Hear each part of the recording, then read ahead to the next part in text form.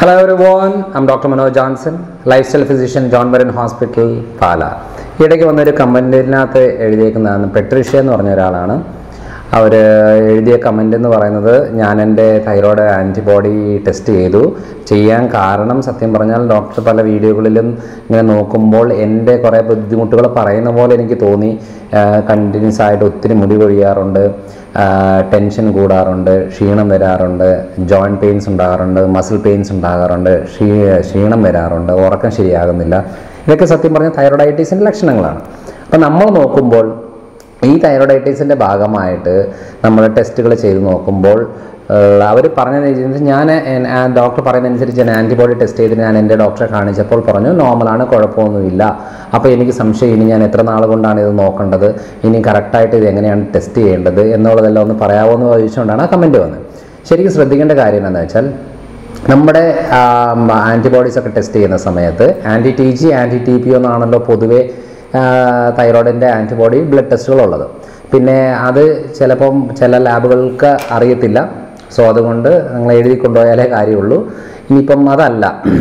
ഇത് മാത്രമല്ല തൈറോയിഡിന്റെ കാര്യങ്ങൾ തീരുമാനിക്കുന്നത്. കാരണം മുടി ഒഴിച്ചിട്ടുണ്ടെന്ന് തൈറോയിഡ് ഗ്ലാൻഡ് സ്കാനോട് ചെയ്ത് നോക്കണം. കാരണം നൊഡ്യൂൾസ് ഉണ്ടോ സിസ്റ്റ് ഉണ്ടോ എന്നുള്ളതെല്ലാം പ്രോപ്പറായിട്ട് തിരിച്ചറിഞ്ഞെങ്കിൽ മാത്രമേ നമുക്കത് ട്രീറ്റ് ചെയ്യാൻ പറ്റത്തുള്ളൂ. പക്ഷേ പൊതുവേ നമ്മൾ ഒരു നോർമൽ റേഞ്ച് എന്ന് പറയും. ഫോർ എക്സാമ്പിൾ ഒരു മുപ്പത്തിനാല് എന്ന് പറയുന്ന ഒരു മാക്സിമം റേഞ്ചിൽ കിടക്കുന്ന തൈറോയ്ഡ് ആന്റിബോഡി നോർമൽ റേഞ്ചിനകത്ത് നമുക്കൊരു ഇരുപത്തെട്ട് വന്നാലും തൈറോയിഡൈറ്റിസ് തന്നെയാണ്.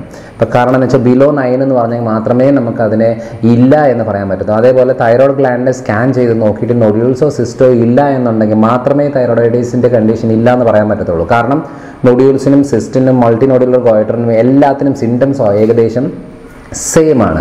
സോ ഇതൊക്കെ ഇതൊക്കെ നമ്മളൊരു എൻഡോക്രൈനസിന്റെ അടുത്ത് ഒരു ഫിസിഷ്യന്റെ അടുത്ത് പോയി കഴിഞ്ഞാൽ ഇതിന് മെഡിസിൻ ഇല്ല. സോ അതുകൊണ്ടാണ് ഭൂരിഭാഗ സാഹചര്യങ്ങളിലും ഈ ടെസ്റ്റുകൾ പൊതുവേ ചെയ്യാത്തത്. പക്ഷേ നമ്മുടെ പ്രശ്നങ്ങൾ ഒരിക്കലും മാറില്ല.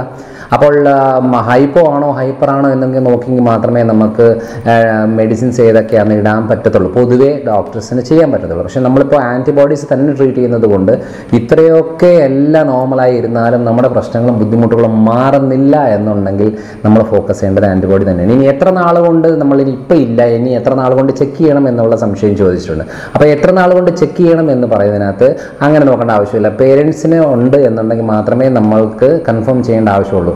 ഇനിയും മക്കൾക്ക് എങ്ങനെയാണ് കൺഫേം ചെയ്യുന്നത്? മക്കൾക്ക് കൺഫേം ചെയ്യുന്നത് അപ്പനും അമ്മയ്ക്കും തൈറോയിഡ് ഉണ്ട്. അപ്പോൾ മക്കളിൽ ആർക്കെങ്കിലും ജലദോഷമായിട്ടോ തുമ്മലായിട്ടോ സ്കിന്നിന് പ്രശ്നങ്ങളായിട്ടോ പീരിയഡ്സിന്റെ ഇറഗുലാരിറ്റി ആയിട്ടോ വെയിറ്റ് കൂടുതലോ വെയിറ്റ് കുറോ തീരെ കുറയുവോ ചെയ്യുവാണെന്നുണ്ടെങ്കിൽ അത് തൈറോയിഡാണ് അല്ലാതെ അലർജി ഉണ്ടെന്ന് പറഞ്ഞാൽ അലർജിക്ക് ട്രീറ്റ് ചെയ്തുകൊണ്ട് വരുന്നാൽ ഒരിക്കലും ആ അലർജി പ്രശ്നങ്ങൾ മാറില്ല. അപ്പോൾ നമ്മളിവിടെ വരുന്ന ആളുകളിൽ ആദ്യം ചോദിക്കുന്നത് അച്ഛന് അമ്മയ്ക്കോ ആർക്കെങ്കിലും തൈറോയിഡ് ഉണ്ടോ എന്നാണ് ചോദിക്കുന്നത്. കാരണം ഇത് പാരമ്പര്യമായിട്ടാണ് ഭൂരിഭാഗ സമയങ്ങളിലും വരുന്നത്. അപ്പോൾ അതിനകത്ത് നൊഡ്യൂൾസ് ഉണ്ടെങ്കിലും മതി. ഗോയിറ്റർ ഉണ്ടായിട്ട് സർജറി ചെയ്താലും മതി. അപ്പോൾ ഏതായാലും ഇത് പാരമ്പര്യമായിട്ട് വരുന്നൊരു കാര്യമാണ്. അപ്പോൾ അങ്ങനെയുള്ള കണ്ടീഷനിൽ നമ്മൾ ഒരു കാരണവശാലും പഴയ കാലത്തെ രീതി അനുസരിച്ച് നമ്മൾ പറഞ്ഞിട്ട് കാര്യമില്ല. കാരണം ഈ ക്യാബേജ് കോൾഫ്ലവർ എന്നൊക്കെ പറയുന്ന രീതികളൊക്കെ ചെയ്തുകൊണ്ടിരുന്നു കഴിഞ്ഞാൽ യാതൊരു കാര്യമില്ല. അതല്ല മെയിനായിട്ട് ഇപ്പോൾ ലേറ്റസ്റ്റ് റിസർച്ച് പറയുന്നത് ഗ്ലൂട്ടന് ലാക്ടോസ് സോയ പ്രോഡക്ട്സ് കപ്പ സ്മോക്കിംഗ് ആൽക്കഹോൾ ഇങ്ങനത്തെ കണ്ടൻസ് ആണ് തൈറോയിഡൈറ്റിസ് കണ്ടീഷൻ കൂടുന്നത്. ഇപ്പം ഞാൻ പല വീഡിയോയിലും പറഞ്ഞിട്ടുണ്ട് അയോഡിൻ ഉപ്പ് എന്ന് പറഞ്ഞ് ആ പ്രശ്നമെന്ന് പറഞ്ഞാൽ ഉള്ള ഉപ്പിൽ നിറയെ അയോഡിൻ ഇട്ട് കഴിഞ്ഞിട്ട് തൈറോയിഡിന്റെ പ്രശ്നങ്ങൾ പത്തരട്ടി കൂടിയതല്ലാതെ ഒരു ഗ്രാം പോലും ഒരു അംശം പോലും കുറഞ്ഞിട്ടില്ല.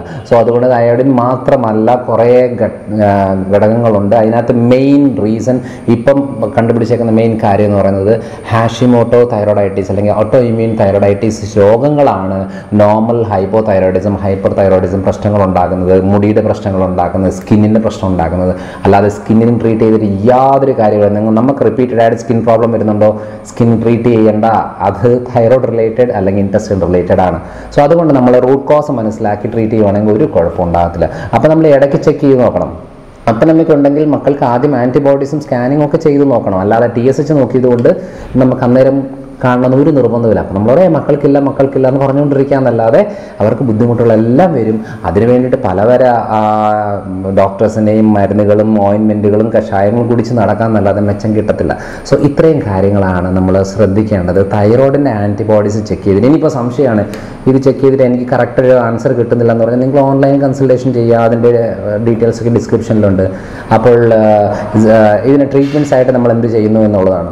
അപ്പോൾ നോർമലായിട്ട് തൈറോനോമോ അല്ലെന്നുണ്ടെങ്കിൽ അല്ലാന്നുണ്ടെങ്കിൽ ഹോമിയോ മെഡിസിൻസോ ആയുർവേദ മെഡിസിൻസ് എന്താണെങ്കിലും തൈറോയിഡിന് എടുക്കുന്ന ആളുകളുണ്ടെന്നുണ്ടെങ്കിൽ അവർക്ക് പ്രശ്നങ്ങൾ മാറാത്തവരാണെന്നുണ്ടെങ്കിൽ അവർ zinc selenium iodine vitamin D omega three അതേപോലെ തന്നെ നമ്മളൊരു ഹെർബൽ കോമ്പിനേഷനും കൂടിയുണ്ട്. അപ്പോൾ ഈ കോമ്പിനേഷനാണ് നമ്മൾ മെയിനായിട്ടും ഇതിന് കൊടുക്കുന്നത്. അപ്പം ഒരു മാക്സിമം പോയ three months minimum fifteen days ഈ സമയം കൊണ്ട് തന്നെ നമുക്ക് സിംറ്റംസ് ഒത്തിരി കാര്യങ്ങളിൽ മാറ്റം വരും. കാരണം റിപ്പയർ പണികൾ നടക്കണം.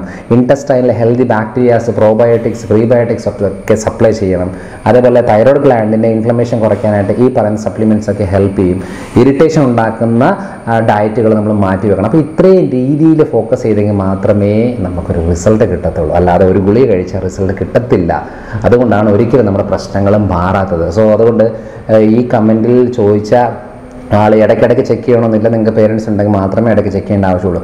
ഒരു തവണ ചെക്ക് ചെയ്തിട്ട് ഹൈ ആണ് എന്നുണ്ടെങ്കിൽ അതിന്റെ ലൈഫ് സ്റ്റൈൽ മോഡിഫിക്കേഷനും ഡയറ്ററി സപ്ലിമെന്റ്സും അതേപോലെ തന്നെ എക്സസൈസ് രീതികളും ഒക്കെ ഒന്ന് ഫോളോ ചെയ്തുകൊണ്ട് പോയാൽ നമുക്ക് സിംറ്റംസ് ഇല്ലാതെ പോകാൻ പറ്റും. അല്ലാതെ ഒരു സുപ്രഭാതത്തിലെടുത്ത് മാറ്റുന്ന ഒരു കാര്യമല്ല. അത് ഇടയ്ക്കിടയ്ക്ക് ചെക്ക് ചെയ്യേണ്ട ആവശ്യവും ഇല്ല. അതുകൊണ്ട് മുടി കൊഴിച്ചിലിനെ ഹെയർ ഫിക്സ് ചെയ്തെന്ന് പറഞ്ഞാലും നമുക്ക് പ്രശ്നങ്ങൾ കൂടത്തേ ഉള്ളൂ. കാരണം റൂട്ട് കോസ് ശ്രദ്ധിക്കുന്നില്ലെന്നുണ്ടെങ്കിൽ യാതൊരു കാര്യമില്ല അലർജിക്ക് വെറുതെ അലർജിക്ക് ഗുളി കഴിച്ച് സമയം കളയേണ്ട.